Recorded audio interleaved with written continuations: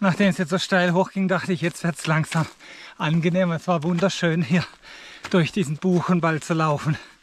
Oh. Und jetzt, ich kann mir nicht vorstellen, dass man sieht. Mensch, geht's da schon wieder hoch. Aber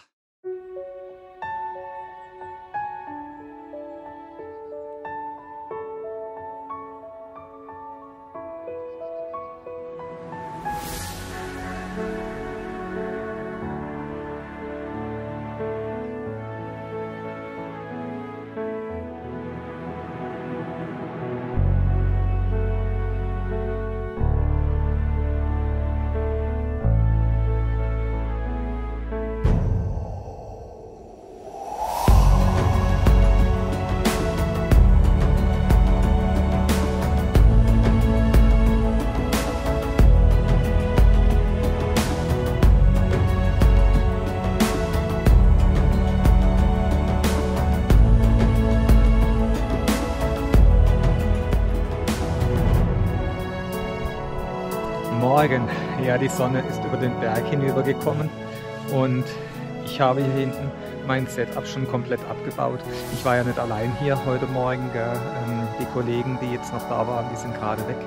Ähm, wollte ich noch einmal zeigen, wie es hier aussieht. Und jetzt geht es weiter nach St. Blasien.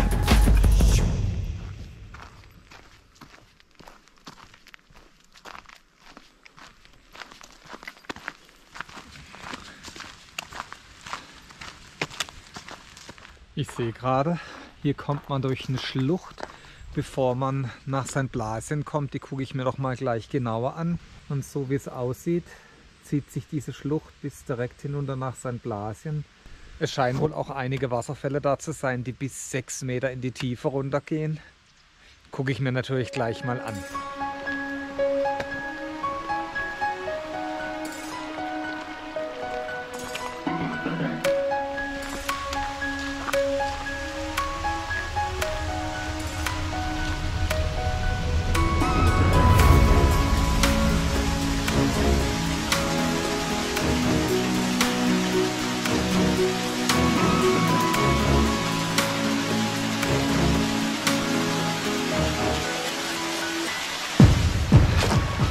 Ja, wunderbar.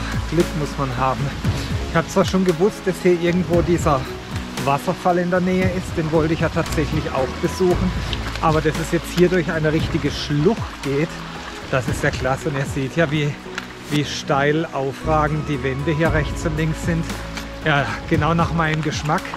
Hier haben wir wieder Wurzelwege. Es geht ganz leicht hier wieder bergab. Sehr, sehr schön. Gefällt mir gut.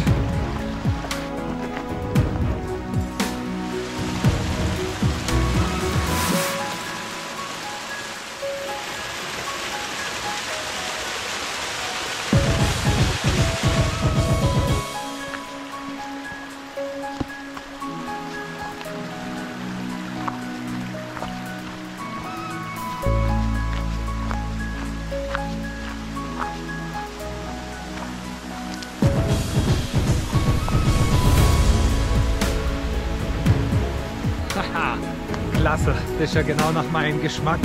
Ich bin ja sowieso immer auf der Suche auf dieser Tour gewesen nach schönen Wasserfällen. Das scheint mir jetzt tatsächlich ganz unverhofft einer der schönsten zu sein.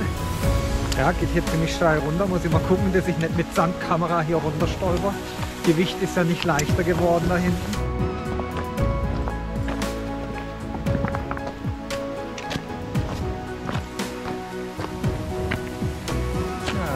Wanderern ganz schön was abverlangt.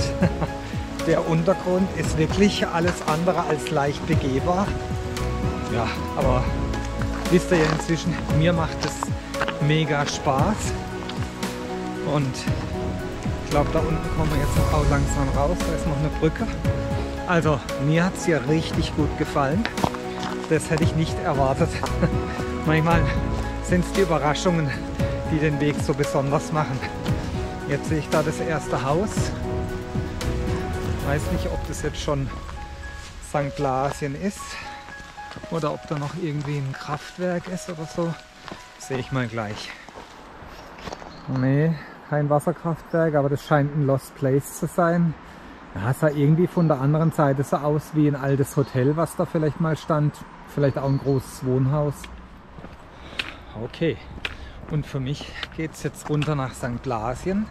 Ähm, also da steht vor allen Dingen eine ganz, ganz besonders tolle Kirche mit so einem Kuppelgewölbe, was sehr, sehr bekannt ist. Das möchte ich mir in jedem Fall jetzt mal anschauen.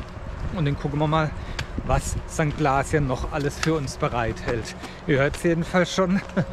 es wird wieder lärmig, nachdem es jetzt so lange Zeit so ruhig war. Ja,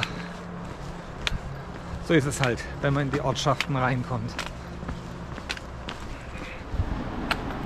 Ja, da drüben sieht man schon rausschauen.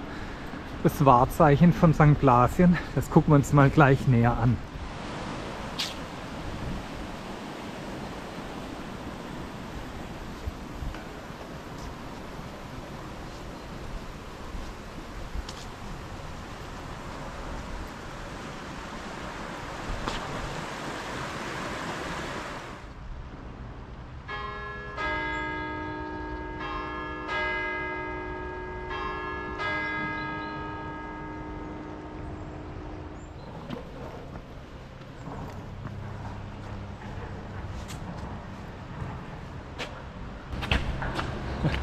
Wow, ist das eine Türe. Das sieht man ja riesig. Ich schau mal, ob ich einen Eingang finde. Und dann gucken wir uns den Dom mal von drinnen an.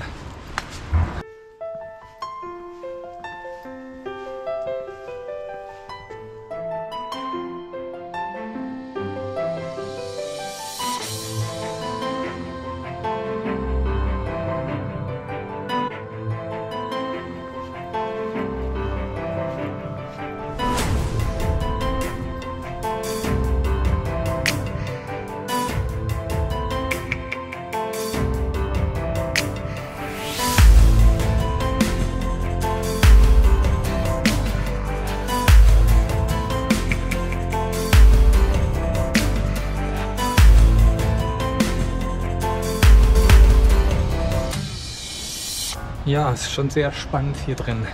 Schon ein ganz schön äh, imposantes Gebäude. Also ich habe jetzt soweit rausgefunden, dass es etwa so 1200 ähm, Jahre alt ist. Dieses Gebäude natürlich nicht, aber die Ursprünge, ähm, die Benediktinermönche waren hier. Das ist ein Kloster. Und das Gebäude, so wie man es jetzt hier sieht, ähm, ist wohl erst 1950 so richtig entstanden. Es gab zwar Vorgängerbauten, aber ähm, die sind oftmals ähm, den vielen Brandkatastrophen, die da im Spätmittelalter äh, passiert sind, zum Opfer gefallen. Ja, aber ganz schön interessant, dieses Kloster. Also das ist ein Dom, also keine Kirche, ich habe es falsch gesagt. Ähm, ja, mal interessant und ich schaue jetzt mal, was St. Blasien noch so alles zu bieten hat.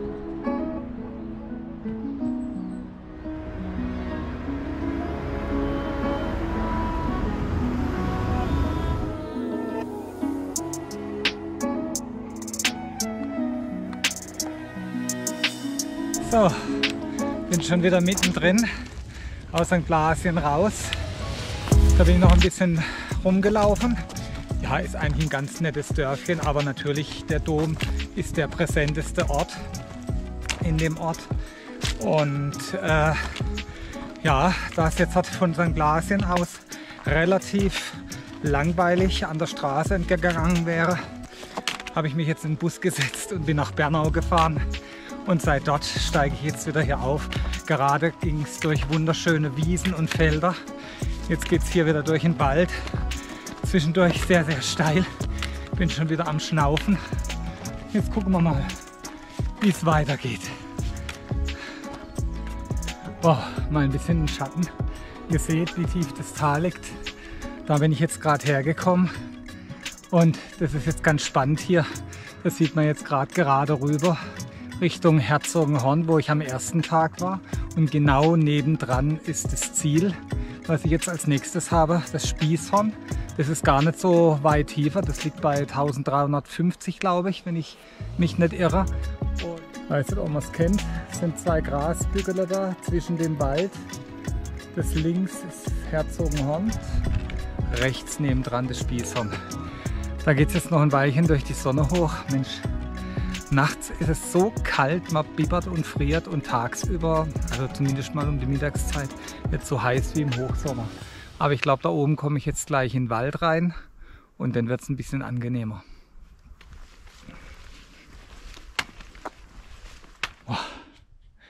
Wow, geschafft, ich bin aus der Sonne draußen. Also heute es ist echt wie im Hochsommer. Unglaublich, gell? Ich glaube, nächste Woche soll es auch noch mal so heiß werden. Wir haben jetzt Anfang Oktober. Also das muss ja jeden durcheinander bringen. Und in der Sonne, denn es ging jetzt halt wirklich gefühlt nur so. Äh, aber jetzt zu dem Wald ist natürlich angenehmer. Jetzt genehmige ich mir auch mal einen Riegel. Und den zweiten gibt es dann oben auf dem Gipfel. Und ich glaube, dann sind die Reserven wieder aufgefüllt. Ähm, ja, heute Morgen hatte ich irgendwie keine Lust auf Müsli. Ich glaube, das fehlt mir jetzt ein bisschen. Aber die Wasserflaschen konnte ich noch mal füllen. Da habe ich Glück gehabt. Habe ich eine Frau angesprochen, als ich unten im Ort vorbeikam, weil da nirgendwo ein Brunnen oder ein Laden war. Und ähm, die war dann so nett, hat mir meine aufgefüllt und noch eine zweite mitgegeben. Also jetzt habe ich erstmal genügend zu trinken. Jetzt mache ich ein Päuschen und dann geht es weiter in die Richtung da hoch. Äh, ja, es geht jetzt, glaube ich, den Großteil bis zum Gipfel oder bis zum Vorgipfel. Da gibt es noch ein kleines Spießhorn. Bis dorthin geht es in jedem Fall im Schatten und da bin ich auch froh drum.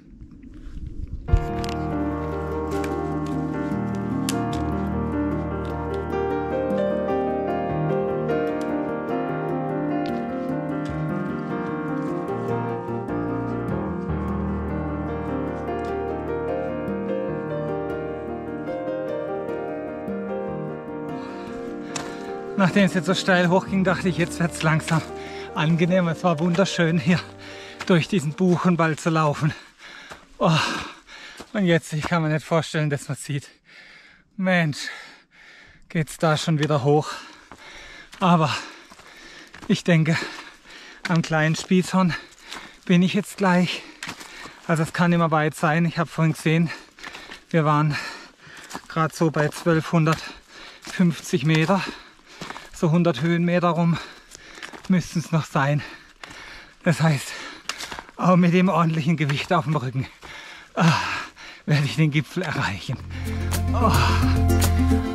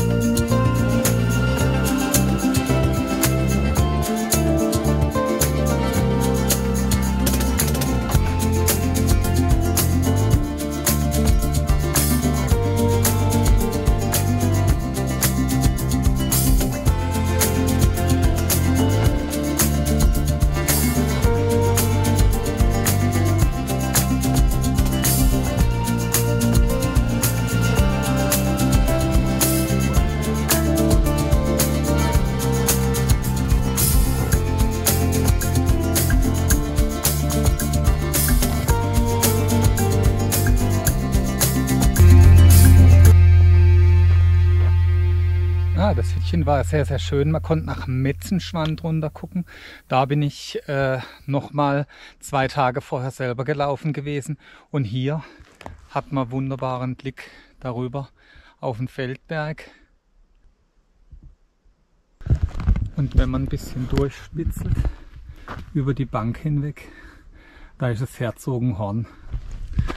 Ja, also der Platz hier ist wirklich wunderschön gelegen.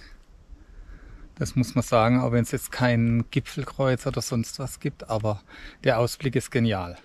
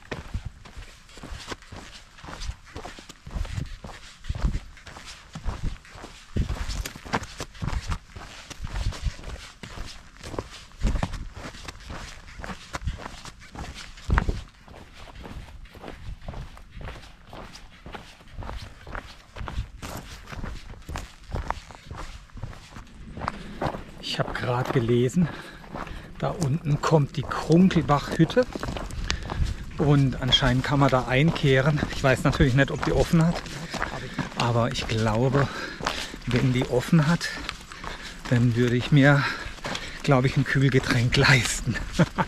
Mal schauen.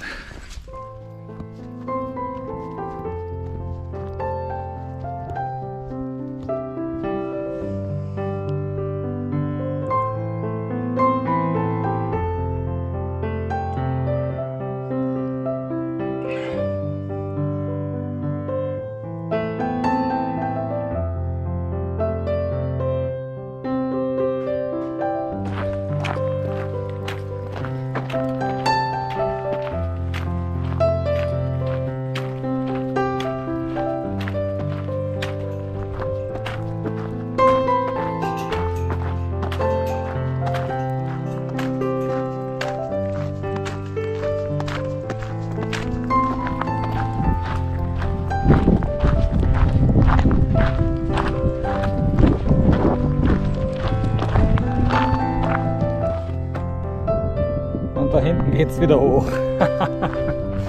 ja, erstmal jetzt den steilen Abstieg, aber ich muss da drüben tatsächlich nochmal über so eine Bergflanke drüber. Nicht mehr so hoch wie da, das werden 200 Höhenmeter sein, die ich nochmal hoch muss. Aber man sieht, man kann sich nie darauf verlassen, dass man nur noch absteigen muss.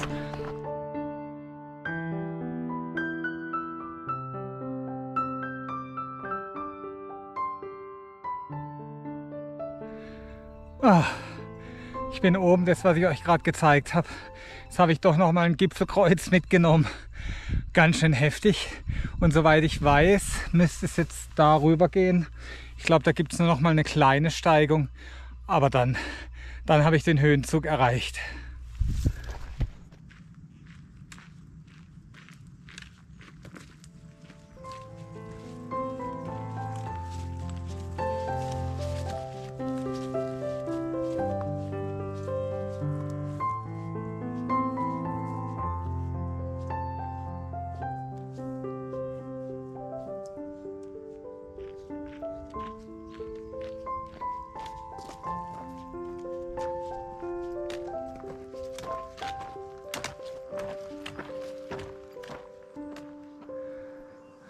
Ja, ich habe es geschafft. Ich habe auch den letzten Bergkamm geschafft.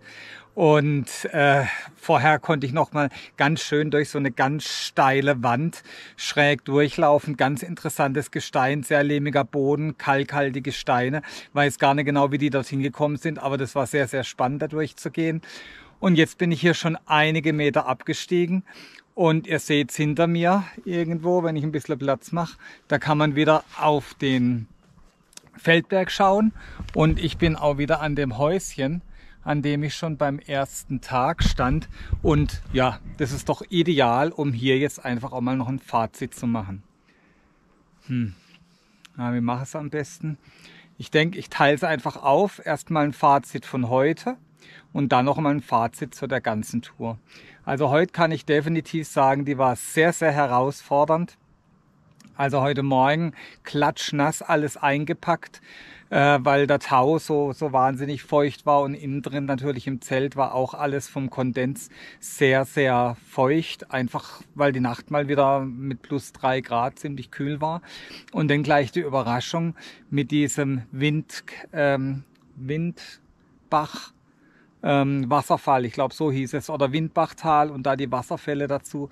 Das war ganz schön spannend. Das war eine richtig steile Schlucht. Hätte ich überhaupt nicht erwartet. Und es war sehr, sehr schön, da durchzulaufen. Auch in St. Blasien war es mal interessant, diesen Dom zu sehen. Und dann, ihr habt es ja gemerkt, habe ich mich entschieden, wie komme ich jetzt hier rüber, ähm, kilometermäßig und dem Gewicht, was ich hier hinten drauf habe, mit über 22 Kilo. Ähm, und die Entscheidung war goldrichtig im Tal mit dem Bus ein Stück zu fahren. Höhenmeter sind fast die gleiche geblieben. Die Berge, auf die ich wollte, sind auch gleiche geblieben. Nur der Teil im Tal, wo man an der Straße entlang gefahren wäre, ja, der war, der war dann einfach weg und das war auch gut so. Und so kam ich jetzt da oben einigermaßen rüber, hab's gesehen, es ging immer hoch und runter von einem Tal ins andere. Das war nochmal recht herausfordernd. Ähm, also ich kann es jetzt einfach schon sagen zu dem Gewicht da hinten. Also die 17 Kilo etwa, die ich auf hatte beim Start, äh, die sind wirklich gerade noch händelbar. Aber jetzt die 22, da merkt man jedes Kilo, das macht wirklich keinen Spaß mehr. Und ähm, ja, die Packraft-Ausrüstung ist tatsächlich ultralight, aber am Rest werde ich definitiv schrauben müssen. Ähm, der Schlafsack, der hat auch nicht mehr die Wärme gebracht, die er sollte. Ich musste mich nachts komplett anziehen. Von dem her, ähm, da kommt jetzt definitiv was Neues. Ja, und jetzt zum Fazit für die komplette Tour. Ja, also ich kann einfach nur sagen, heiße, warme Tage, ähm, aber sehr, sehr kalte Nächte. Das steht, glaube ich, für alle Tage. Und für mich war tatsächlich so, so diese Idee, es war ja eine splinige Idee, äh, wandern zu gehen, Bergsteigen, klettern und auch noch mit einem Packraft unterwegs sein. Also eigentlich macht man sowas ja nicht, aber manchmal muss man irgendwelche Träume halt verwirklichen. Und von dem her fand ich wirklich die Kombination hier in Tottenau am Fels. Das wollte ich schon lange mal ausprobieren mit dem Klettersteigset. Es hat richtig, richtig Spaß gemacht. Da gibt's auch ein Video, das verlinke ich euch mal hier oben. Und dann die Besteigung vom Herzogenhorn, dem zweithöchsten Berg, dann rübergelaufen zum Schluchsee, der wirklich auch als der schönste See im Schwarzwald äh, gehandelt wird. Dann die Packraft-Tour auf dem Schluchsee und dann nochmal weiter bis rüber nach St. Blasien. Und ihr habt es gerade gehört, wie, wie der Tag für mich war. Es war ein besonderer Tag, aber wenn mich in Zukunft jemand fragt, willst du mit 22 Kilo rumlaufen, dann sage ich No Go. Ich habe jetzt hier runter noch etwa zwei Kilometer und dann bin ich wieder im Tal am Auto und keinen Meter möchte ich mehr laufen. Also ich kann nur sagen, mir hat die Tour Spaß gemacht. Ob ich sie zum Nachlaufen empfehlen würde, also gerade der letzte Teil war ein Teil, wo sehr, sehr viel Übergangswege drin waren und wenig schöne kleine Pfade. Ähm, das ist einfach, weil, weil ich halt jetzt die, diesen, diesen Weg so gewählt habe. Der hätte es auch nicht viel anderen Spielraum gegeben. Aber da würde ich sicherlich sagen, einen Tag mehr und lieber das ein oder andere Highlight einbauen. Aber die anderen zwei Tage über den Jägersteig da am zweiten Tag eine super, super Tour. Die geht auch nochmal am See unten entlang. Ich habe es auch im letzten Video schon gesagt. Das ist ein Rundweg und wohl auch der Seeweg soll sehr, sehr schön sein. Ich habe mich da gerade gestern unterhalten noch mit jemand, der den komplett komplett gelaufen ist. Also wirklich eine schöne Region und eine tolle Tour. Ich bin begeistert. Wie es euch gefallen hat, würde ich jetzt gerne von euch wissen. Also wenn ihr möchtet, schreibt einfach unten in die Kommentare rein, was ihr für Erfahrungen gemacht habt schon beziehungsweise wie euch auch die Tour gefallen hat. Es ist für mich immer ganz schön, wenn ich ein Feedback bekomme. Also, ich wünsche euch jedenfalls alles Gute, bis zum nächsten Mal und ich freue mich, wenn ich euch bald wiedersehe. Tschüss.